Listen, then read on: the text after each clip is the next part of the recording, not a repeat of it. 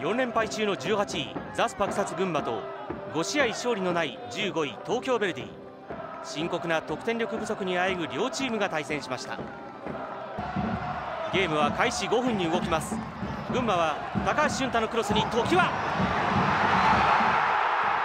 古巣相手にシーズン3ゴール目を決め群馬がいきなりリードを奪います。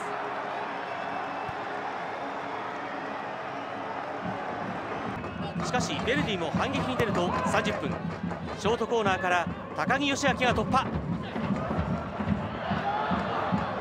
最後はキャプテン今林が決めて1対1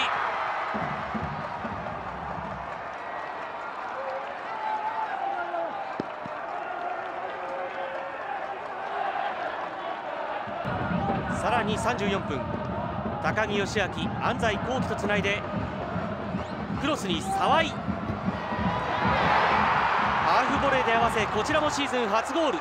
ベルディが前半のうちに逆転します。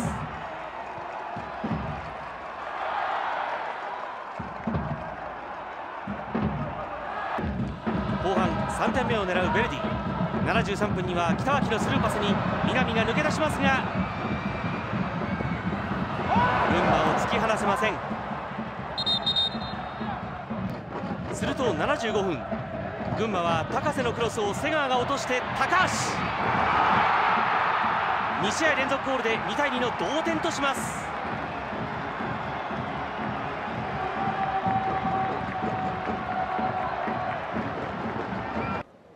予想外の点の取り合いとなった一戦はそのまま2対2の引き分け。